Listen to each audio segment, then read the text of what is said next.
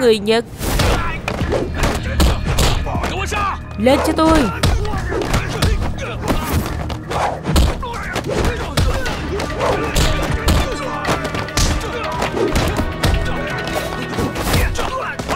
A Tinh bảo vệ Tiêu Long. Biết rồi.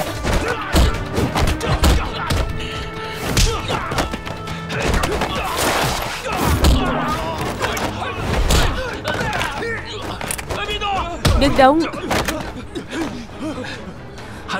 Hà thiếu gia, Cẩn thận. Thành thật cho tôi. Lui về sau. Lui sau. Lui về sau.